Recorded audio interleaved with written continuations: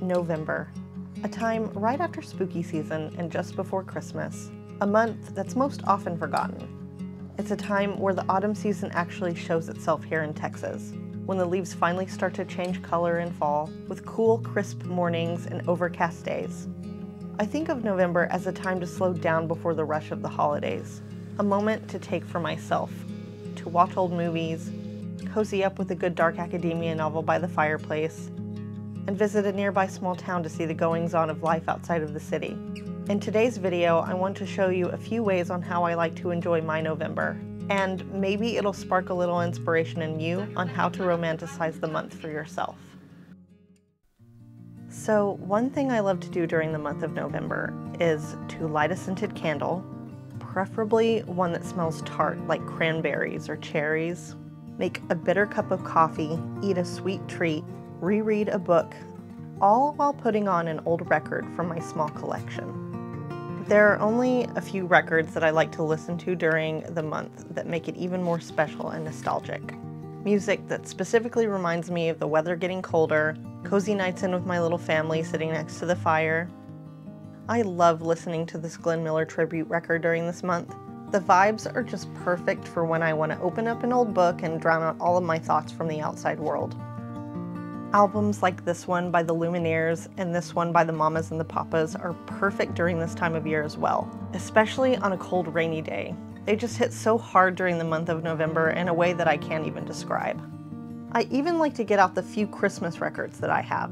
This Julie Andrews album can be so fun when decorating for the holidays. Although it can be a bit intense, I love it anyway. Because, I mean, come on, it's the one and only beautiful Queen of Genovia herself.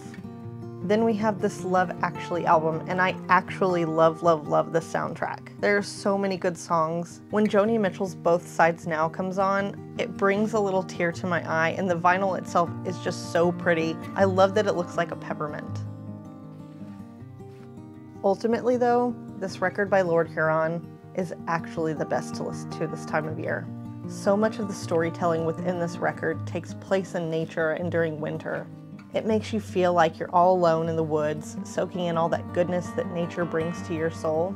And honestly, I don't think there's a better record to listen to this time of year. Although, if you know of any, please leave me a suggestion in the comment section because I would love to add on to my collection.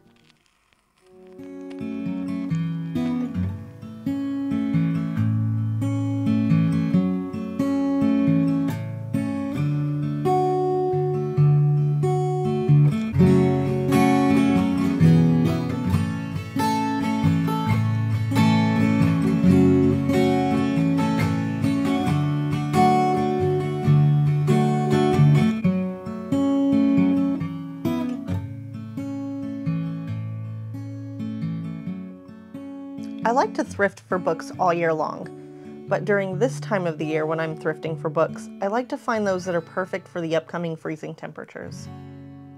That way, what I read reflects the weather, and I can really take it in, which in my mind makes the season more romantic. So I look for stories that take place during the winter, books with dark academia vibes, mysteries, and thrillers. Here are a couple of books I've picked up so far this November. Set during the 1920s, the story follows Jack and Mabel, a childless older couple struggling as homesteaders in the Alaskan wilderness. When a young girl suddenly emerges from the woods, their lives begin to change.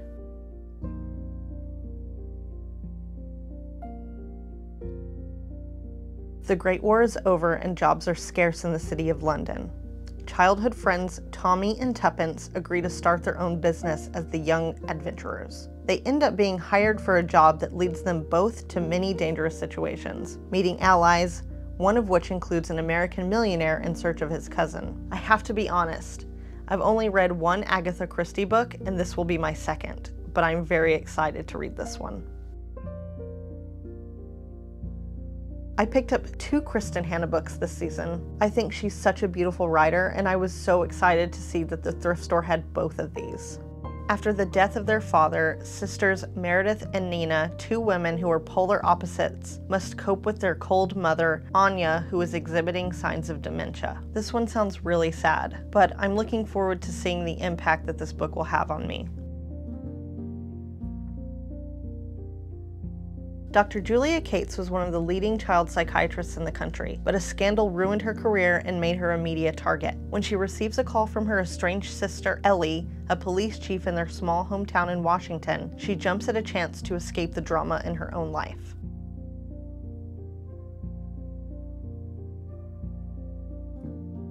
This book is about Mariana Andros, a 36 year old widow, lifelong book lover, and a group therapist who travels to Cambridge to investigate the murder of her niece Zoe's friend. I actually started this on audiobook and decided I'd rather read it physically. It has a perfect dark academia vibe. And then I really just wanted to show you the set of Harry Potter books that I picked up. I finally got my hands on these beautiful editions by MinaLima. If you've been following me for a while, you know how much I love this design firm. They pretty much created the whole look of the films, so I was very excited to find these. I bought them in a pack of two and can't wait to add the rest when I find them.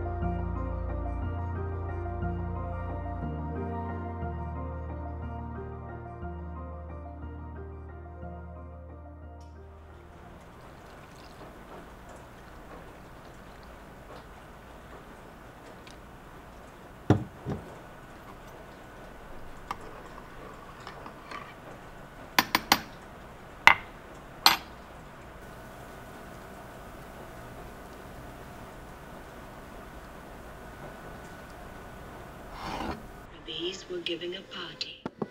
It never rained on the night. The boat goes at noon. Good night.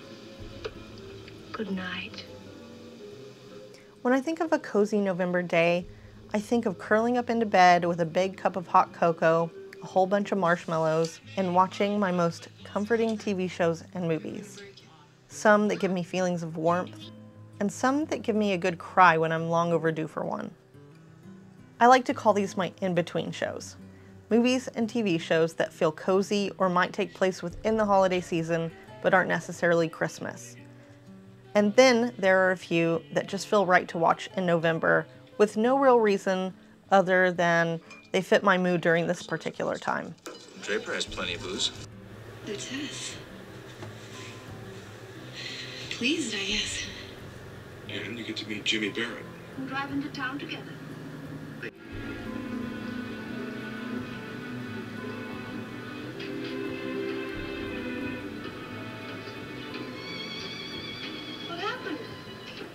Passed out. Taxi, miss. Cheapest rates in Glencoe. Well, hello, how are you? Aw, Brenda, put that down. Is there chocolate inside? No. Oh, darn. Oh, Bill, Lamborghini. The Lamborghini is back. Woo. Oh. Walter and I are engaged.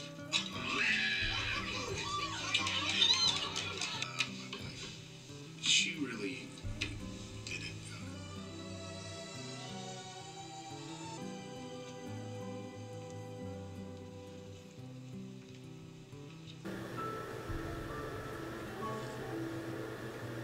Age, but I don't understand the concept. It's different. It's not different. It's exactly the same.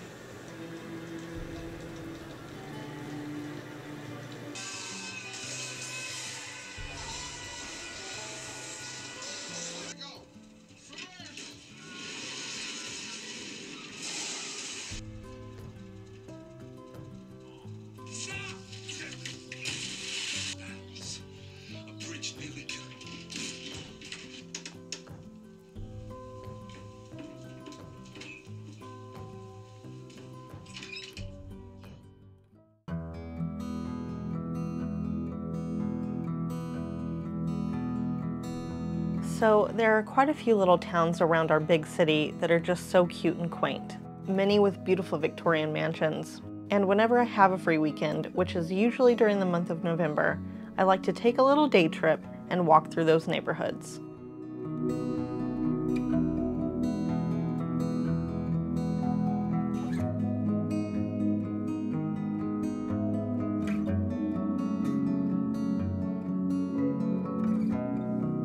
I like wondering what it would be like to live in a small town. I figure the more I put myself in those places, the more likely I am to build up the courage to one day leave the big city for this lifestyle. And seeing these places during the autumn months just makes it even better for me.